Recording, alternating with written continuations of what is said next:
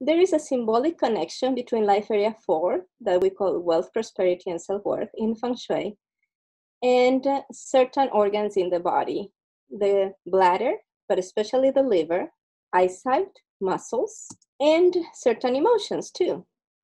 So the hypo negative emotion for this life area is what we would call um, indecision that leads to laziness, a, a lack of spunk, right?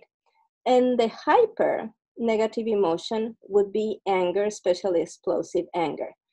When you are balanced in the wood element as it applies to wealth, you are decisive, but it's the type of decision that leads to action.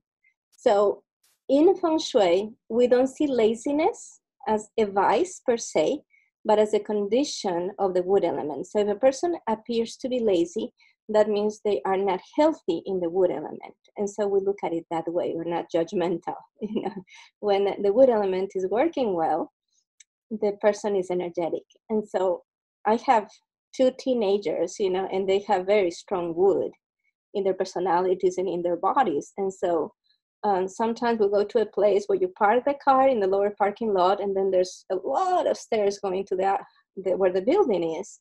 And my kids, you know, they jump, and that's such an expression of the the wood element, that energy, you know, where you you don't see stairs are like, oh my gosh, I have to go up the stairs, but you actually see them as an opportunity to play.